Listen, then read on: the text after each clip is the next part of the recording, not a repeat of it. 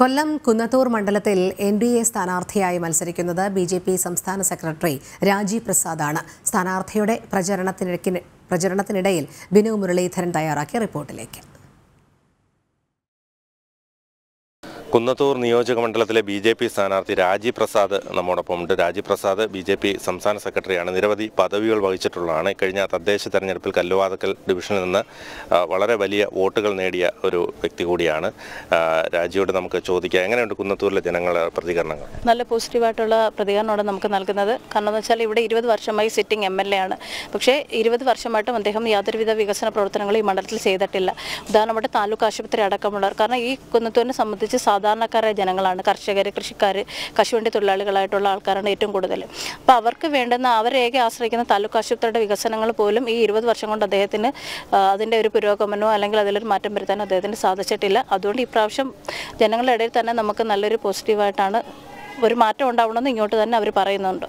നമ്മൾ എന്തൊക്കെയാണ് അവർക്ക് കൊടുക്കുന്ന ഒരു വാഗ്ദാനങ്ങൾ പ്രധാനമായിട്ടും ഈ താലൂക്ക് ആശുപത്രിയുടെ വികസനം തന്നെ ആയിരിക്കും നമുക്കറിയാം കേന്ദ്ര ഫണ്ടൊക്കെ ഉപയോഗിച്ച് ഒരുപാട് കാര്യങ്ങൾ ചെയ്യാൻ സാധിക്കും. അതിലുപരി ശാസ്താംകോട്ട തടാക സംരക്ഷണം. ഇപ്പോൾ എം എൽ എ പറയുന്ന അദ്ദേഹത്തിന്റെ കാമുകയാണെന്നൊക്കെ പറയുമ്പോഴും ഈ ഇരുപത് വർഷം കൊണ്ട് ആ അതിന്റെ വികസനത്തിന് യാതൊന്നും ചെയ്യാൻ സാധിച്ചിട്ടില്ല.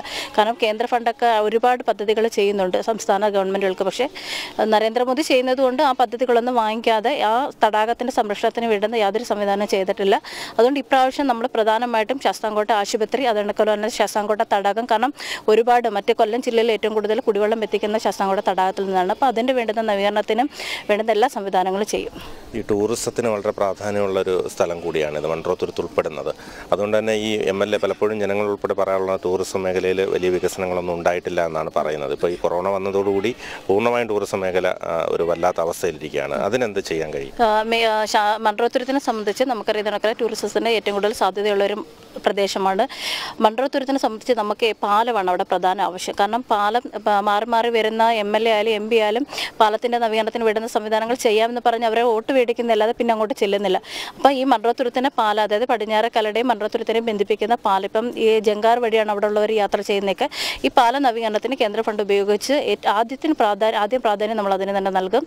അപ്പോൾ അതേപോലെ തന്നെ മൺട്രോത്തുരത്തിന്റെ ടൂറിസം വികസനത്തിന് വേണ്ടുന്ന പദ്ധതികൾ രൂപീകരിക്കും. തീർച്ചയായും കുന്നത്തൂരിനെ സംബന്ധിച്ചിടത്തോളം വലിയ വാഗ്ദാനങ്ങൾ തന്നെയാണ് രാജീവ്പ്രസാദ് നൽകുന്നത്. കാരണം സാധാരണക്കാർ ഏറ്റവും അധികം അധിവസിക്കുന്ന ഒരു പ്രദേശം കൂടിയാണ്.